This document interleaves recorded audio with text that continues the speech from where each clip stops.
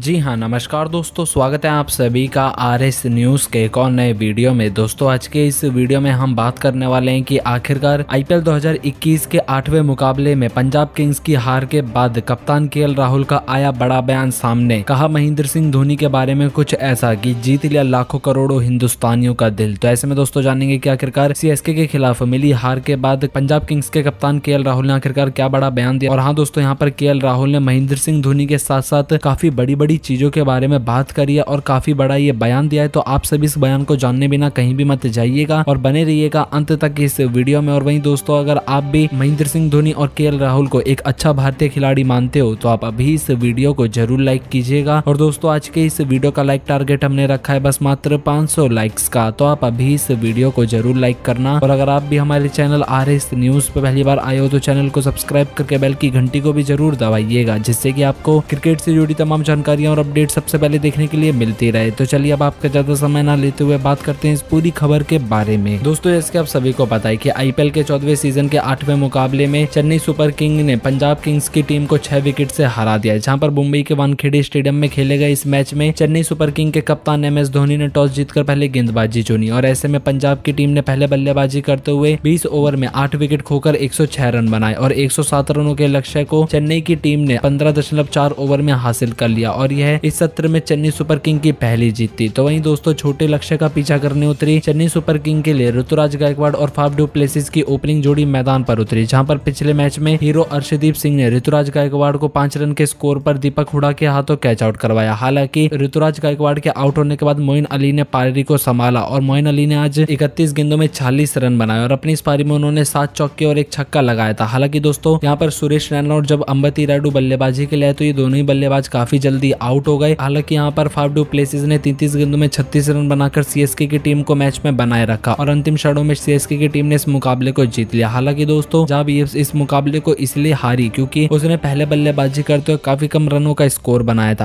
अगर वो थोड़ा तीस पैंतीस रन और ज़्यादा बना देती तो शायद सीएसके की टीम को काफ़ी ज़्यादा मुश्किलों का सामना करना पड़ता। लेकिन दोस्तों, इसी बीच अब पंजाब किंग्स के कप्तान के राहुल का बड़ा बयान सामने निकल कर आया, जहाँ पर उन्होंने महेंद्र सिंह धोनी के बारे में तो काफ़ी बड़ी बात बोली है और साथ में काफ़ी बड़ी बड़ी चीज़ों के बारे में चर्चा की है। तो आइए चलिए अब हम आपको बताते हैं कि पोस्ट मैच प्रेजेंटेशन के दौरान के राहुल ने सीएसके के खिलाफ मैच हारने के बाद क्या बोला? दोस्तों, यहाँ पर के राहुल ने कहा कि मैंने ऐसा नहीं सोचा था कि शुरुआत के पाँच ओवर में ही हमारे इतने सारे विकेट गिर जाएँगे। पिच बल्लेबाजी के लिए इतना भी खराब नहीं था। डेढ़ सौ ज़्यादा रनों का स्कोर हमें बोर्ड पर खड़ा करना चाहिए था, लेकिन मेरा रन आउट होना, उसके बाद विकेटों का लगातार गिरना, इन सबने हमारी टीम को मैच में काफ़ी ज़्यादा पीछे कर दिया। क्रिकेट में ऐसा होता रहता है लेकिन महेंद्र सिंह धोनी जैसे महान कप्तान के आगे अगर मैं कप्तानी की बात करूँ तो मेरी कप्तानी कुछ भी नहीं है। अगर मैं उनके खिलाफ ही मुकाबला हार भी गया हूँ तो ये मेरे लिए एक सीखने लायक चीज़ होगी कि अगले मुकाबले में मैं किस तरह से इन सभी चीज़ों को इम्प्रूव कर कर मैदान पर उतरूं। महेंद्र सिंह धोनी के साथ मैच खेलकर काफ़ी ज़्यादा मज़ा आया और अब आने वाले मुकाबलों पर हमारी टीम अच्छे से फोकस करेगी और सभी मुकाबलों को जीत कर ज़रूर हम प्ले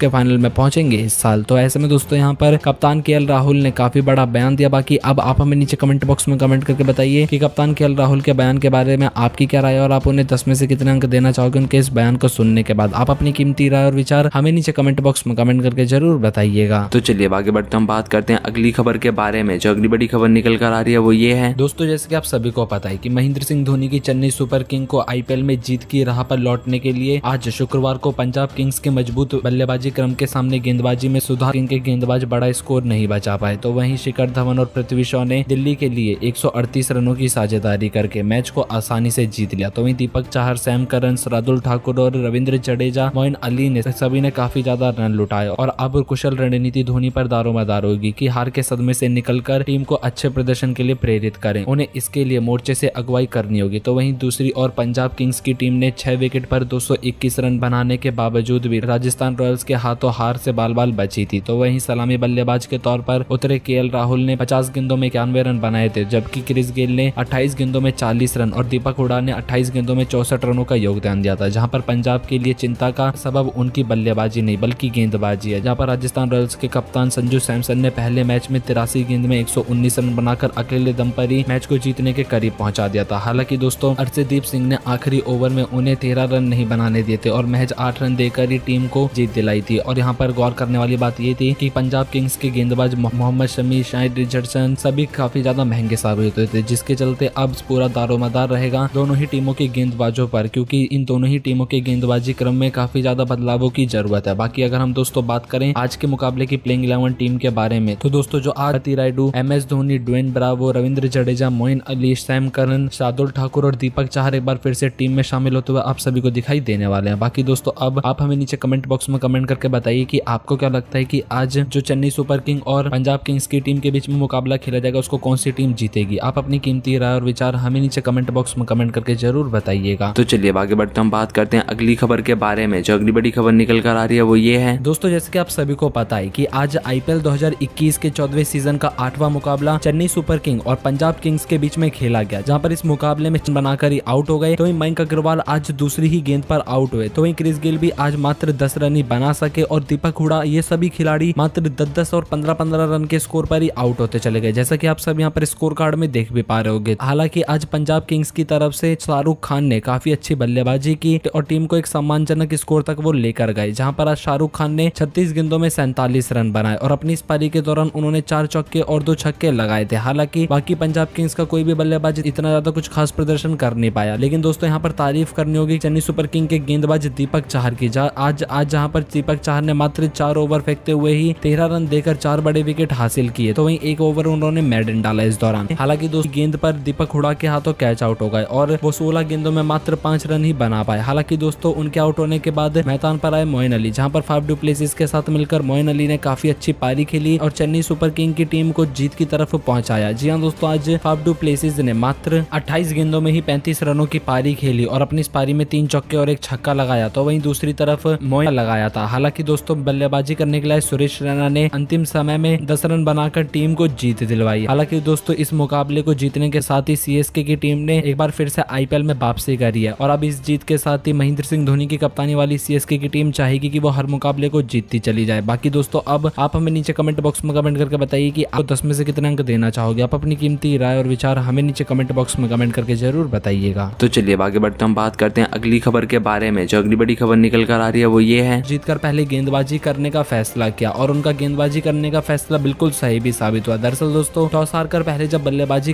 करने के लिए पंजाब किंग्स की टीम मैदान पर उतरी थी। तो पंजाब की तरफ़ से बल्लेबाजी करने के लिए मयंक अग्रवाल और के राहुल मैदान पर आए, जहाँ पर ये दोनों ही बल्लेबाज आज कुछ ज़्यादा खास प्रदर्शन कर नहीं पाए। जी हाँ दोस्तों, आज पहला भेजा तो वही दूसरी सफलता सीएसके को रनआउट के रूप में मिली। हमें उम्मीद है की आपको दिखाई गई जानकारी पसंद आई होगी। वीडियो अच्छा लगा तो वीडियो को लाइक करना, साथ में चैनल को सब्सक्राइब करना, जिससे की जो आगे की अपडेट होंगी, वो आप सभी को सबसे पहले चैनल पर देखने के लिए मिलती रहे। तो मिलेंगे अगली और ऐसी जानकारी में, तब तक के लिए जय हिंद, जय भारत।